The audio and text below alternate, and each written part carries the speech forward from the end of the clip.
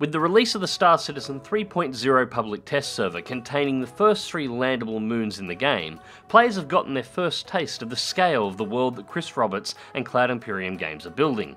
But how big is it really, and how much would it cost to buy it all in real world money?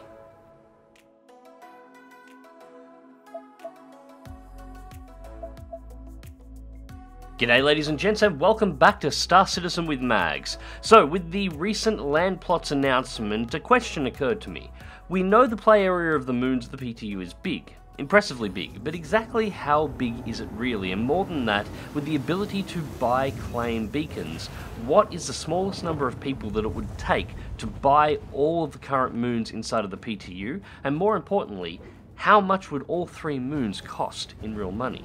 So, to begin to answer that, the first thing I will need, of course, is the size of the moons. Unfortunately, this is not so easy to find. Official sources such as the ARK star map or the patch notes simply do not carry the exact size details of these bodies, or really any of their metrics at all. Other third party sites that do have them listed, such as the MyRadar app, have sizes listed that seem to be built on old information and do not match up with what we currently see inside of the PTU. So the only way to get an accurate measurement of the current size of the moons as they stand inside of the 3.0 PTU now is to measure them myself. Of course, that begs the question how exactly do you measure the size of a moon? Well, there are actually two ways to do it, and I'll be doing both just to make sure I get my numbers right. The first is actually the most straightforward. Each moon has a navigational beacon. This beacon sits exactly in the center of the core of the moon, so by simply landing on the surface of the moon and measuring the distance from the beacon to your location, it will give you the moon's radius, the exact measurement you need to calculate all of the moon's other metrics. However, this is a test server, and a test server that contains a large number of bugs that are currently in the process of being squashed. So, to be sure the first measurement is correct, we really need to take a second measurement just to confirm the first one. Thankfully, we can do this as well. On the surface of the moons there are outposts. These outposts have nav beacons, and these nav beacons are visible from any location around the moon, regardless of whether or not you have line of sight to it or not.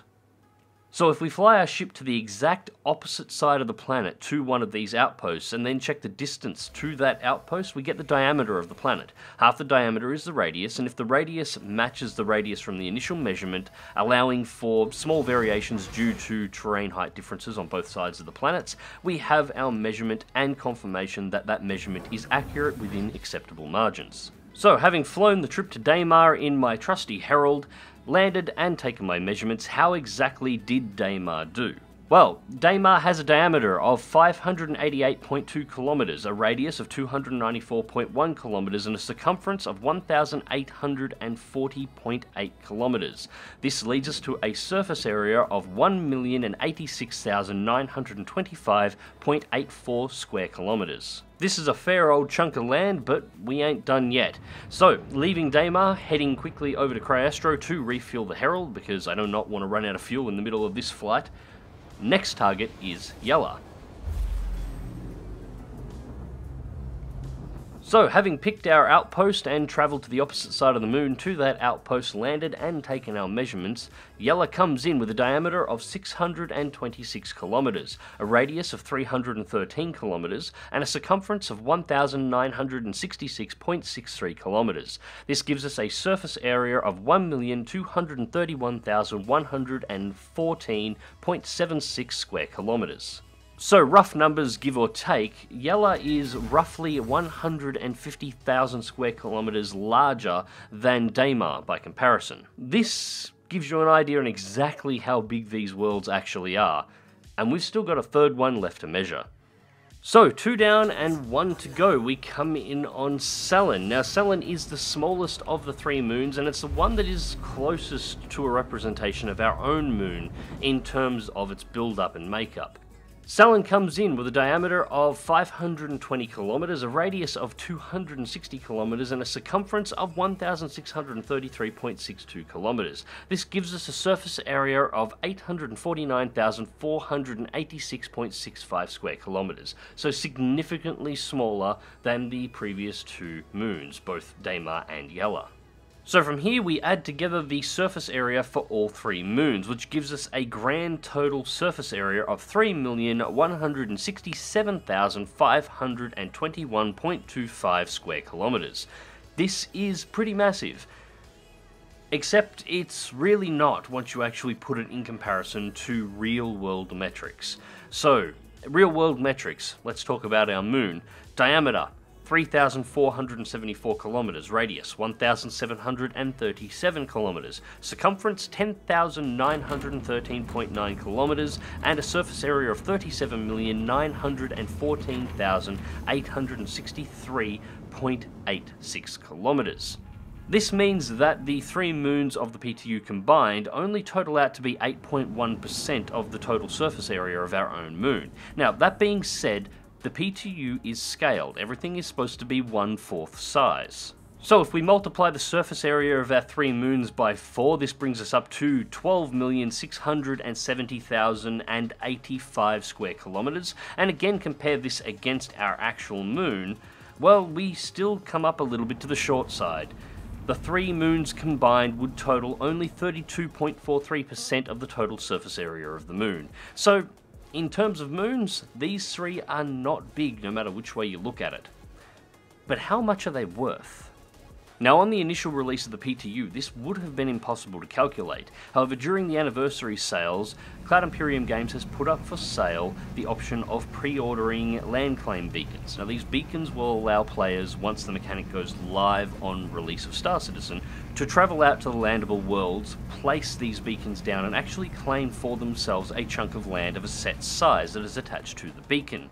Now, these beacons come in two sizes. You have 4x4 kilometers, which of course gives you 16 square kilometers as an option, and you have 8 by 8 kilometers, which gives you 64 square kilometers as an option. Now, as a player, you can buy up to 10 of each, as I currently understand it. There are limitations to the number. And of course, these beacons come with a cost. So your 4 by 4 kilometer claim beacons come in at $50 US before tax.